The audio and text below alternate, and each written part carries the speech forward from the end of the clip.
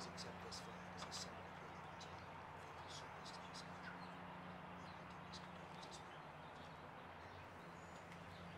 The Presidential Memorial Certificate, and three shells from today's rifle volley that were fired in honor of your loved one's honorable and faithful service. Family and friends, this does conclude the military honors portion of our service today. And Ed, if you're ready? Sure. Yes.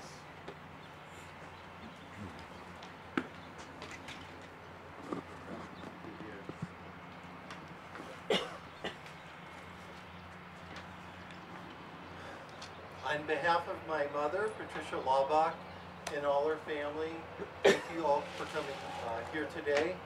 Um, my father Balvin's looking uh, down uh, upon us all in appreciation. Balvin Alvin Laubach was born in 1931 in Spring Hill, Minnesota during the Great Depression. He was the fourth of six children, and his parents lost everything during the Depression so they moved around a lot. This gave him skills to adapt to different places and situations. Those times were not easy for my father. I think that during these hard times, he developed a foundation for hard work and strong ethics and morals. I never heard him once complain.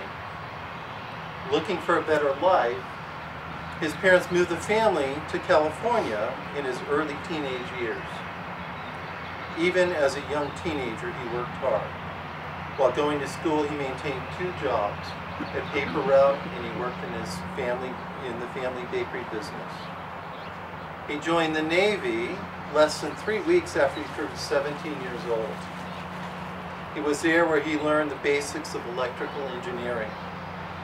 In the Navy, he spent most of his time on the aircraft carrier USS Midway. As my father always told me, he always had enough cruises to last him a lifetime. After spending four years in the Navy, he moved back to California and completed his education at Loyola University, where he obtained his degree in electrical engineering. While still in college, he met my mother, Patricia O'Brien, as she was a classmate of his sister Marilyn. On one of their first dates, they were going to get donuts at Dolan Donuts. Do- donuts became an ongoing theme for their anniversaries.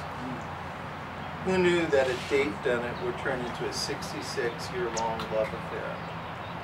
In 1957, they had their first child, my sister Casey. After that, I think they wanted one more girl. Is all you know, that didn't happen. They had eight straight boys. Growing up in a family of of 11 was certainly fun. We never had a dull moment. As you can imagine, made it difficult to get around in a single car. So my father, being the engineer that he was, bought a 1958 Chevy bus, a real-life school bus. Uh, it was like the Partridge Family, only better. So um, it, we took the yellow, you know, painted the yellow bus silver and bluish green. Um, we took out all the seats. We put in five bunk beds, a long seat couch that folded into a double bed, a table that dropped down into a playpen, you know, a, a kitchen, a bathroom. But that wasn't enough. He cut a hole on the roof and made a uh, roof platform with railing around it so we could sleep and look at the stars and go to drive-in movies. For work, my father started as electrical engineer at Hughes Aircraft Company. After 10 years or so, he became founder and owner of Laubach Electric Company, where he served as electrical contractor for over 30 years. He lived a faithful Catholic life, and family was the foundation of everything he did. He had 15 grandchildren and three great-grandchildren. As a grandpa, he's actively attended many of their sporting events. Baseball was his favorite. He was an avid Angel fan. This is his rally monkey, and he watched all the Angel games. Rally, I mean, they needed all the rallies they could get, but he was rallying and rallying and rallying the Angels to. So I keep I keep this wherever I go. So it's in my car all the time. So this is the his his rally monkey. He has two of them. My mom has the other rally monkey. He will be remembered for his sense of humor, his fix-it skills, his creative style, his love of baseball, and his fantastic head of hair. Something obviously I did not inherit.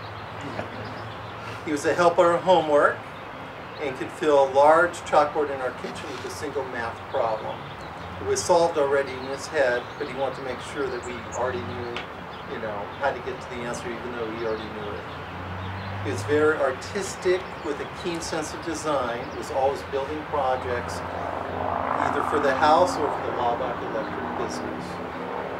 Later on in life, he developed vascular dementia.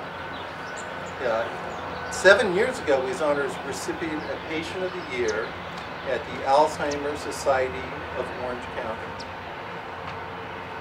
I always looked up to my father and will always admire him as a dedicated husband and family man with a strong Catholic faith.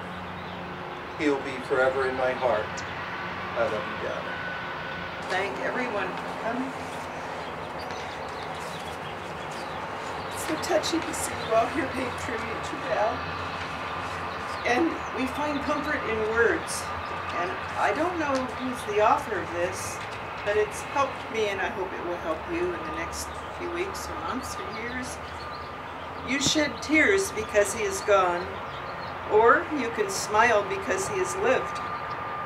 You can close your eyes and pray that he will come back. You can, or you can open your eyes and see all that he has left. Your heart can be empty because you can't see him. Or you can be full of love you shared. You can turn your back on tomorrow and live yesterday. Or you can be happy for tomorrow because of yesterday. You can remember him and only that he is gone. Or you can cherish his memory and let it live on.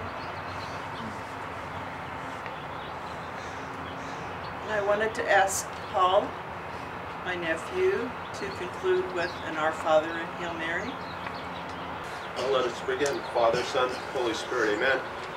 Our Father, who art in heaven, hallowed be thy name. Thy kingdom come, thy will be done on earth as it is in heaven.